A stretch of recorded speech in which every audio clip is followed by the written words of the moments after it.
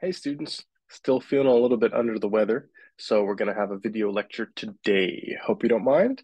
It should be tons of fun. All right, today we're going to talk a little bit about acting, both inside out and outside in acting, and we'll find a little bit of time to go over the acting projects. Now, I'll uh, continue to go over that in class on Thursday. Hopefully, I'll feel well enough to come back to class, but uh, here, here's hoping at least. So your book breaks acting down into two different ways. One is inside out and the other is outside in. We're going to cover both of them. But first, I think we're going to do a little bit of a history on the development of the actor. Now, we already touched on this a little bit when we discussed Greek and uh, Roman theater. And if you watch my video lecture on Roman theater, medieval theater, and all that jazz, we talked about actors uh, in that time period. But just to review, during the Greek times, Actors were exclusively male and wore masks, same in the Roman times. And for female parts, they would always be played by men in women's dresses, so cross dressed roles. Um, Shakespeare's time, that tradition continued. Remember, we talked about boy companies. So you'd have prepubescent boys or young boys playing roles like adult women, like Lady Macbeth, like Cleopatra. So some of these big meaty roles were played by, uh, you know, boys under 13, probably. And though we haven't touched on Asia in this course yet, if we jump over to Asia for roles in the Noh theater and roles in eventually in the Kabuki theater, also were played by cross-dressing men. So you have sort of a male-heavy origin to the profession of acting. However, that all changes when actresses grace the scene. So if we go to Western Europe, the first time that actresses are on the scene is really in the medieval times. Uh, women start to perform uh, in public in big spectacles here. The Commedia dell'arte time period, which is during the Italian Renaissance, is one where you have women uh, as full members of acting companies that are uh, professional actresses that draw people in to the crowd uh, with their acting skills and talents and have roles specifically written for them, both by male playwrights and by female playwrights. This further develops in Spain during the Spanish Golden Age. Uh, the dates are down there. They're not too important, but just to realize it's it's basically the Renaissance time period after 1550s in Europe. Uh, and in the Golden Age Spain, women could perform, but had some restrictions. Uh, for example, uh, they had to have a member of their family in the company. I think you had to be married to someone in the acting company or the child of someone in the acting company. So you sort of had to be in a family group there. And also, if a woman was on stage playing a man or cross dressing in any way, she couldn't fully cross dress in Spain. She had to only cross dress from the top uh, the bottom had to still be traditional female clothes. Don't know why that was, but that was the law. That was the requirement of the Spanish Golden Age theater. So, though we see women coming into the forefront and coming onto the stage, there still were restrictions on them. It wasn't just like today where you could, you know, perform uh, wherever you'd like. Now you still had to have someone sort of some sort of male sponsorship, sort of, for the actress in the um, in the company. However, that doesn't mean that women didn't have agency and have power and have economic power uh, in terms of uh, performance, which was a new thing uh, for the world uh, in general. Uh, let's take a look at one particular example of that Isabella Andreini. Uh, perhaps she's the first superstar actress. So her dates were here towards the middle of the 1500s in Italy, firmly in the Italian Renaissance. And she is known as a playwright, a poet, an actress in the Commedia dell'arte tradition. And by the way, she also had eight kids and still performed at the same time. Toured Europe, kings, queens, dukes invited them for their birthday parties. Have Andreini's troupe come over here and oh yeah, we really want it. She's a fantastic performer. She's a fantastic artist. Let's have her perform. That's great. She was in demand a superstar, if you will.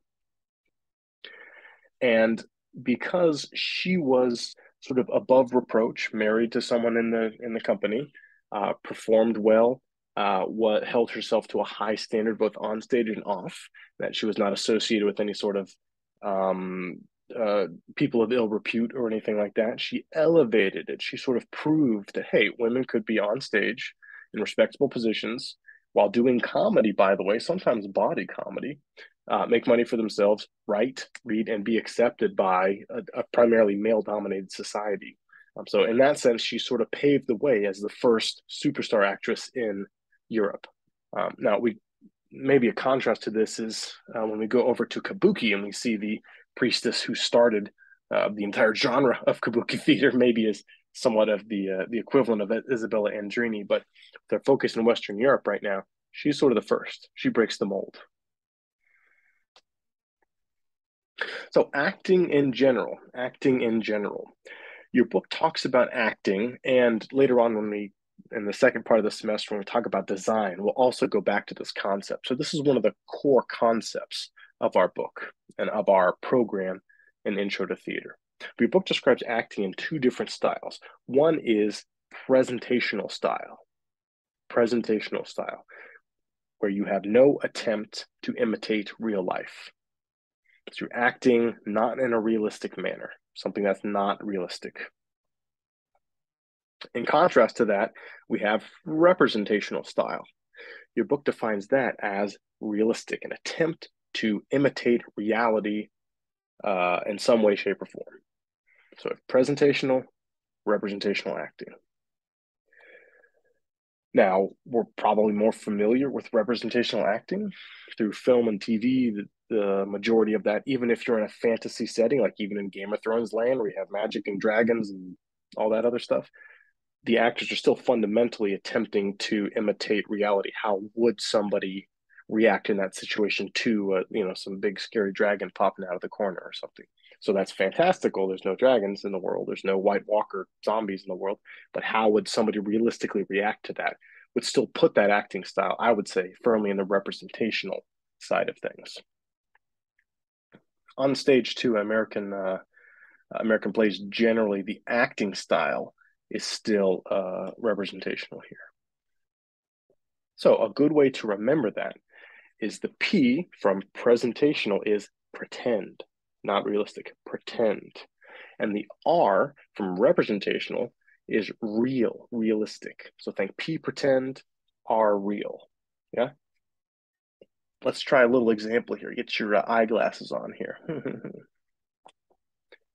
so take a look at this image for a second. And though it's an image, we don't see people moving or speaking or gesturing, just as a guess, would you say these two performers are attempting a representational uh, performance or a presentational performance, would you say? If you said presentational, remember pretend, not realistic, presentational, ding, ding, ding, you got that right. I would say more likely than not, these actors are attempting a presentational performance. One more time. How about this scene? Once again, it's just a still image, right? Just a photograph. But is this more of a representational acting style or presentational acting style? Yeah, if you said representational, remember R for real, looks realistic, then that uh, would be correct. I think uh, it's most likely that these actors are attempting to perform a representational style of acting. Now, that leads us to how these actors are performing. Let's look at the three tools of the actor. Three tools of the actor. Let's start with on the left side of the screen here, the body. One of the tools of the actor is the body. How the body moves is one of the foremost ways that we have of communicating non-verbally with each other in life. And the same thing is true on the stage. The actor may be trained in dance in advanced relaxation techniques or meditation techniques uh, or some sort of specialty movement like combat are all body training things for an actor. The other tool of the actor is the voice. And the voice is used to communicate the text that the playwright writes down, right? Our dialogue, um, which we discussed before, but also can be used for projection. If you think back to ancient Greece, and 14,000 people and you were outside, you probably needed to project your voice loudly in order to be heard in the very back uh, of, of those big Roman uh, or uh, Greek outdoor theaters. and also articulation. It's one thing to be heard, but if you're if it's all just mush, they're not going to be able to understand you. So being able to train your mouth to articulate, to speak clearly so that everybody can hear is of paramount concern to the actor. And finally, the third tool of the actor is the mind. You might think that sort of goes without saying. If, if you don't have a mind, I guess you wouldn't be alive, so you couldn't be an actor. But um, it's important to consider this aspect of because the mind is sort of the internal component here. How actors analyze the script and look at their character, how their character behaves, and how it engages your imagination. What if my character was like this? So, if my character thinks like this and they encounter this situation, then what could I do to better show that? That's the mind side of the actor. So, those three tools body, voice, and mind are important. Now, your book frames acting in two different ways inside out versus outside in. Let's take a look. So, inside out is probably the one that we're a little bit more familiar with. That's defined as starting with your mind, so that tool number three, right? Your mind of an actor, and then creating the character using your body and voice, your other tools. So, starting with the mind and then creating the character with the body and voice. So an example of this is an actor thinking, okay, what does this character want? What motivates this character? Starting with the thought first. The other way, outside in acting, is where you start with your body and your voice, those two tools, and then that informs your decision or your imagination, your mind. So body and voice, and then to mind.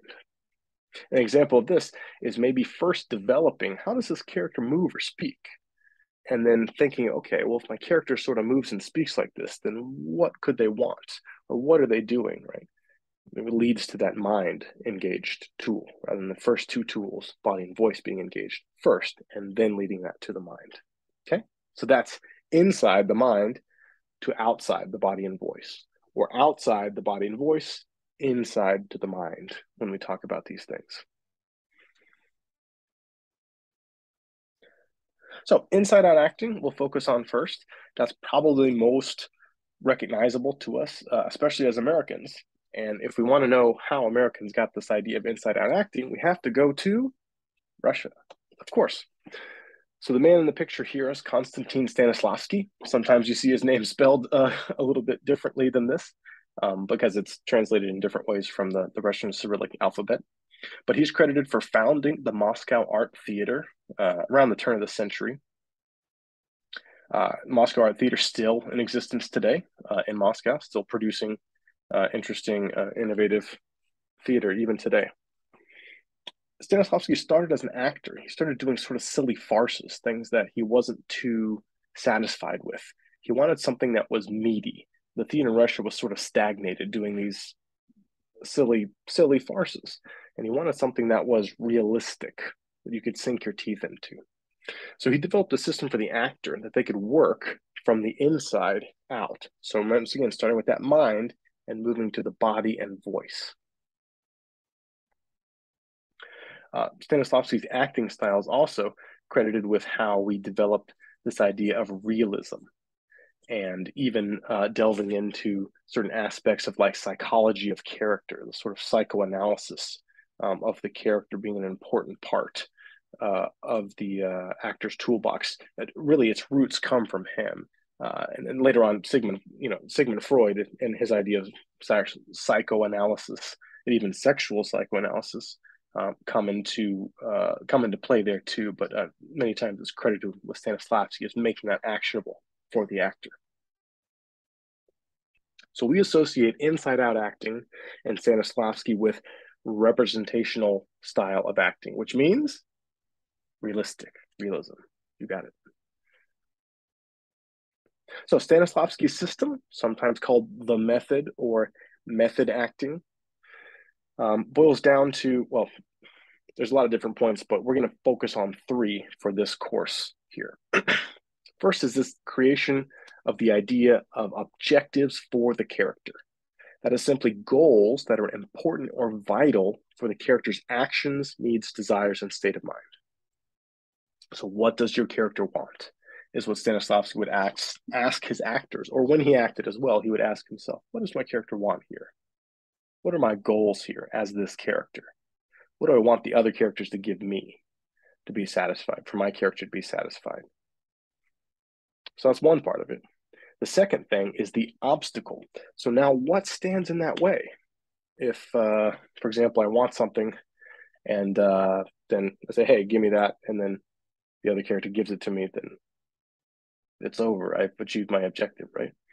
But remember when we talked about plot and conflict being the soul of the play and conflict driving the plot, many times there's something that's stopping that thing, uh, that character from getting that thing that they want. So that Stanislavski defines as the obstacle. So that's something that the other characters do to stop the character in getting what they want. And when those things come into conflict, then you have, uh, well, conflict. Great job, Dr. Whit. You just said that. That's the third issue that we're talking about here. So, how do characters with opposing objectives work through these obstacles to get what they want, to achieve their objectives? There's many ways of doing that, and as an actor, an inside-out actor, an actor trained in the uh, in the R, the realistic or representational style of acting, you would have a certain way of approaching uh, answering this question in terms of your performance.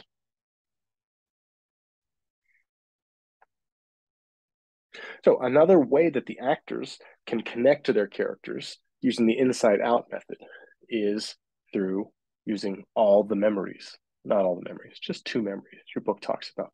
One is the sense memory. So that's pretty simple. You can think of the five senses and engaging those. So that's smell, touch, taste, etc. Think of this image of someone smelling a flower. Sense memory. The other memory is known as affective memory, and that's more remembering your past or bringing personal experience forward into the acting space when you're performing as an actor this image here is maybe of a time if you needed to play maybe a sad person on stage, but you yourself were not sad, then maybe you would engage with the memory of a time when you know you, you had to say goodbye to your dog or you had to put your dog to sleep because they were very sick or something like that. That's a sad time. That might bring you down. And you can use that when you play that character who is sad at that moment on stage. So we're going to talk a little bit about a little bit more about both of these types of memories going forward. Sense memory. Sense memory is defined as utilizing sensory memories to realize a moment on stage. So, sensory memories to realize a moment on stage. How might that be applicable? How might an actor apply that? Let's see. So, for example, my character has to drink coffee on stage, but there's only water in my coffee mug.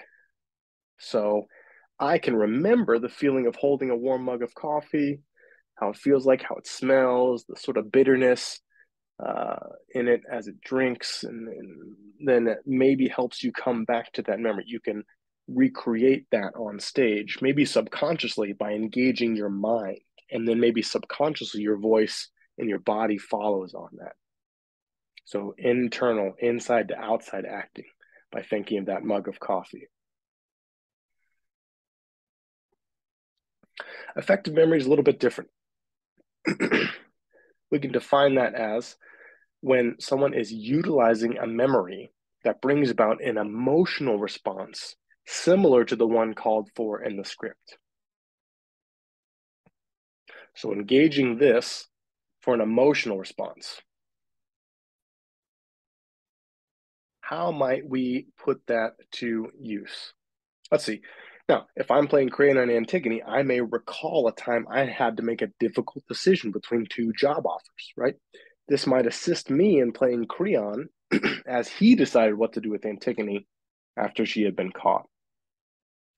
So, if you have some problems relating as an actor, relating to what your character is doing, I've never been a Greek king who took over a country after a brutal civil war, and then this person who's my son's fiance comes in and defies me in public and embarrasses me in front of everybody. That's never happened to me and probably never will. But I can think of something similar to that and connect that to what my character is going through on stage. And then once again, subconsciously, my mind might trick my body, my voice to following through on that emotion or the appearance of that emotion on stage in that circumstance. Make sense? So, sense memory is your five senses, recreating that. And affective memory is bringing something emotionally from your past and putting it onto the stage in the present. Now, there's different ways that actors have been trained over the years.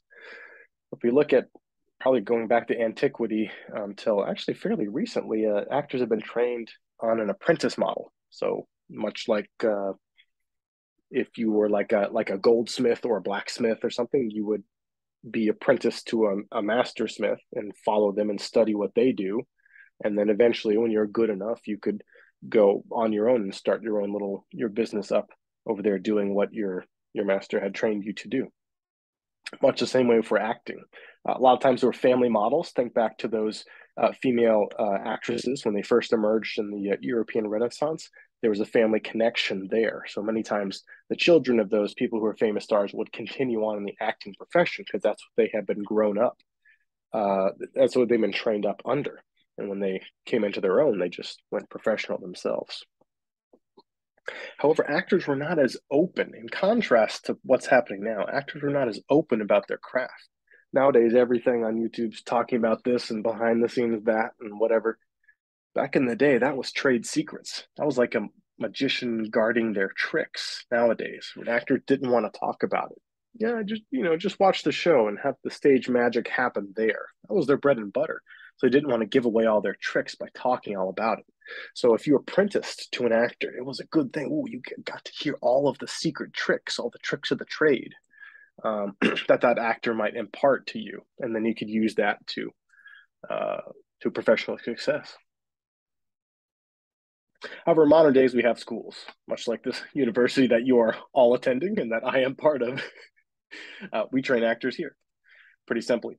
But that history is actually fairly not fairly long. I mean, if you look about 1850 is the first uh, sustained uh, uh, system of training actors. It goes back to the Frenchman Francois Delsarte, um, where you have the system of training actors. And in that one, uh, in that first system, much like today, you know, there's this idea of training the voice, training the body, training the mind. Those three tools of the actor nowadays there's also modern actors who also train under that apprentice system. For example, Jackie Chan down here, uh, when he was being trained in uh, in Hong Kong, he was trained under a, uh, a Beijing opera master. Though he's in Hong Kong, he was trained in Beijing opera, which is like a thousand miles away from Hong Kong, because there was a master from Beijing that had come to Hong Kong, and uh, him and a few other martial arts actors had uh, apprenticed under him for like 10, 20, 10, 10 to 15 years, and then eventually made a transition to doing stunt work, martial arts stuff, and, and, and film acting in, in these Hong Kong kung fu movies in the in the 70s and 80s. so in the modern era, there are apprenticeship models still, uh, many times in Eastern uh, arts as well. When we take a look at the arts of India, Japan, and China, um, they embrace apprenticeship models, sort of master to student, one to one training rather than a, a school setting like we have usually in the West. So let's take a look about training for the body.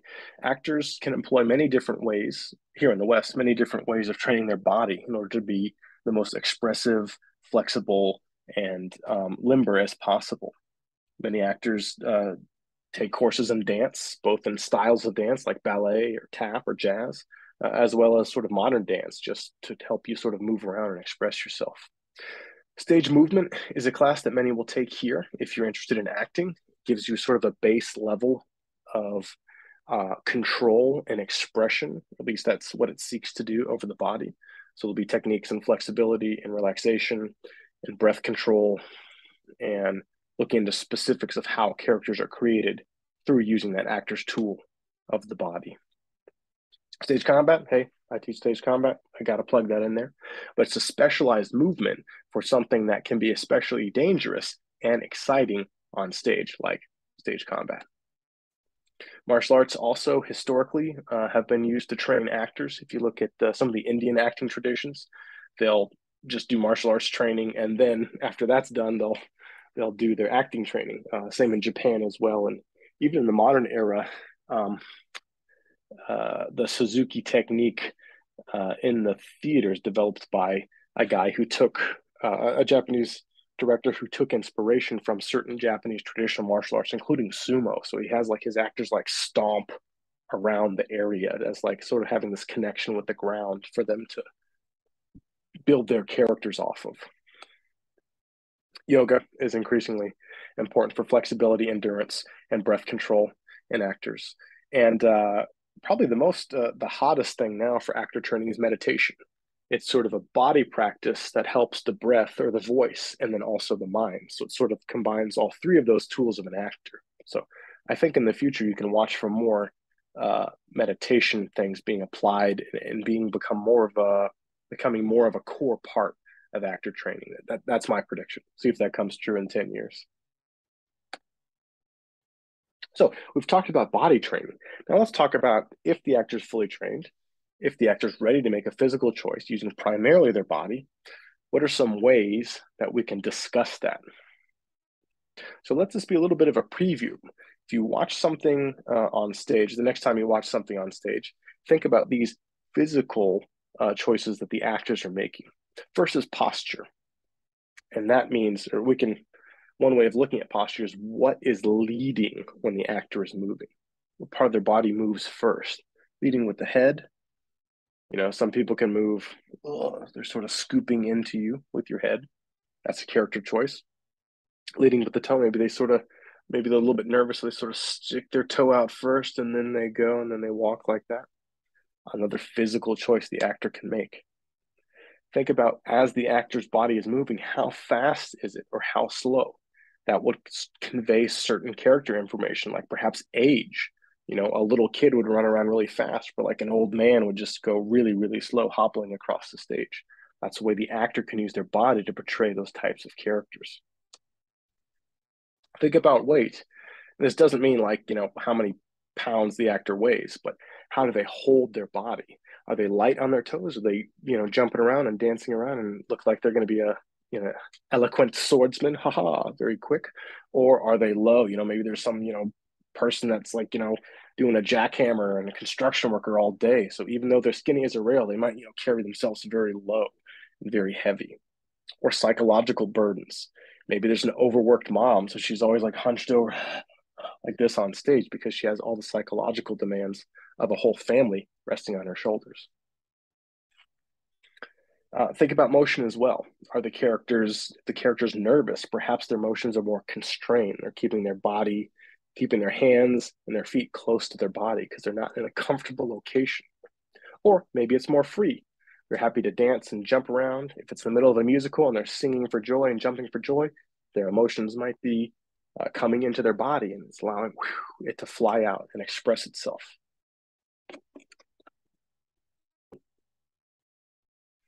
Next, let's move on to voice training. Historically, the voice has had more prominence for the actor than the body. Can you imagine why? Think back to the Greek and Roman times. Remember, they had full head mask, they had full body uh, costumes, and even with those elevator sandals. So the body was not seen too much. The face was completely obscured for all the Greek time period and all the Roman time period. So historically, it's been the voice to make sure that it gets out there to everybody.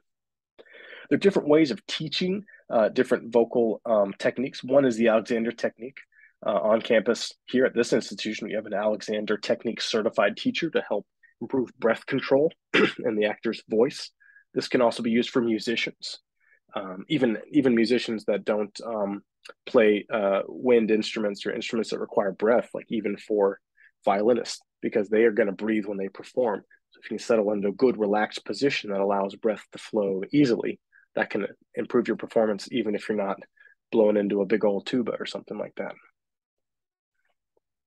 Singing, of course, musical actors and uh, you know Broadway musical theater actors, uh, as well as the ancient Greeks and Romans, who likely sung most or all of those plays. Projection and articulation we talked about before having your voice reach those people in the back and also be clear enough so they can understand it was a primary goal of the ancient actor. One of those tools also that many modern actors are trained in is known as the International Phonetic Alphabet. You've probably seen this without noticing it. It's the way that um, they write the words here so that it can be easily pronounced. For example, introduction on the left side here. On the right side in gray is an example of the International Phonetic Alphabet. It's a way of breaking down each word sound, each word into a series of sounds that can be objectively studied. This is used a lot of times in accent uh, acquisition. If I'm playing an Irish character, they pronounce words differently, maybe. So you can use IPA to change the text into sounds, and then the actor can replicate those sounds to have a convincing accent for another character. So it leads us to vocal choices.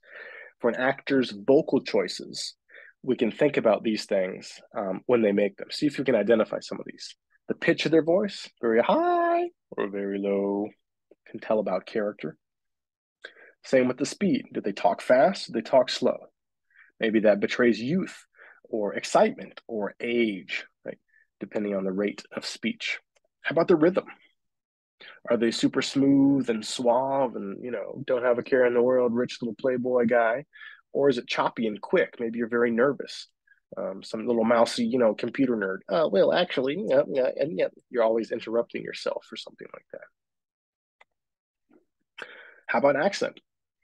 Is there a regional accent? If you're from the American South, uh, you might speak a little bit different than if you're from, uh, you know, Brooklyn, New York. So it'd be quite different. Uh, sometimes actors have to modify how they naturally sound to play a convincing character.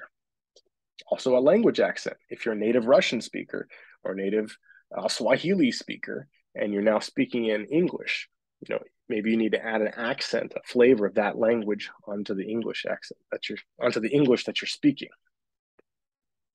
Right. So next is a video of Judi Dench. And I want you to consider what the vocal choices are based on what we talked about that Judi Dench has made. Judi Dench is the, the lady on the left here. Now I'll put the link to this video in the description below this video here. So I'm not going to play it now.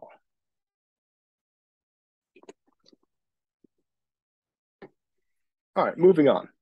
All that was inside out acting. And now we're going to talk a little bit about outside in acting. Whoa. So remember, that's body and voice informing the mind. The example that your book points to, and that I think uh, is probably the most illustrative of this as a contemporary American performing artist, is Anna Deavere Smith. Anna Deavere Smith's style is that she takes a outside in approach to her roles. When she'll go and research something and interview a lot of people, usually around one event or one theme, she'll interview a lot of people, type up those interviews and watch them as they say them and use every word that those real people say about this real event. She will imitate that. So completely external, looking at their body, looking at their voice, and copying all of that as much as she can. And then performing the words exactly as those real people said them. So an outside in acting style. She's not thinking, okay, I'm I'm this person and like he's a cowboy, so we'll sort of be like, oh, I'm a cowboy. She just takes a look at what the actual cowboy says and what the actual cowboy is moving, their body and their voice, and then imitates that. Some of her most famous works are Fires in the Mirror, and um, that was nominated for a Pulitzer, where she did this technique. In fact, there was controversy because you said you didn't write anything for this play. You went and interviewed people and copied them. That's not really being a playwright, is it? You're just sort of a documentary theater artist. But I mean, she won a Pulitzer Prize for that. It was considered great literature and a great performance that she did, where she embodied all these different characters surrounding one particular issue. Twilight Los Angeles was another one that she did as well. They're great examples. If you ever see a production of that or can still see the film productions of that, I would uh, I would highly recommend it.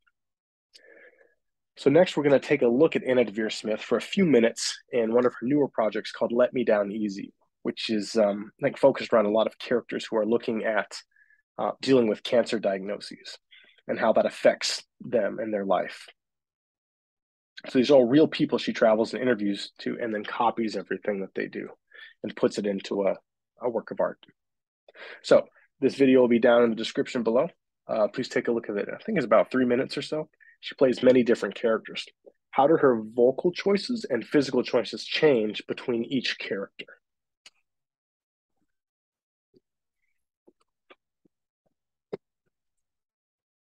The last part of this chapter talks about the actor's rehearsal processes.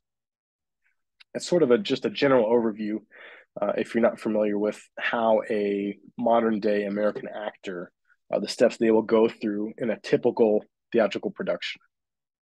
Usually, the actor will start reading through the script, where everybody comes together and they read through the script one time. That will be followed by table work, where the director and all the actors will sit in a room and discuss different aspects of the show itself. Next will be blocking. We'll talk a little bit more about this when we talk about the director, but blocking is an important part of the show. Is yeah, where the director will tell the actor how to move around the stage in what manner and set the different ways the actor enters and exits the stage, as well as different mannerisms that the director and the actor can collaborate on in playing the character. And if we take a look at the next part, um, the next type of rehearsals will be running, where they'll just run the show and work on the bits that aren't quite working. Uh, followed by the technical rehearsal, where all the technical elements, costumes, lighting, all that stuff comes together.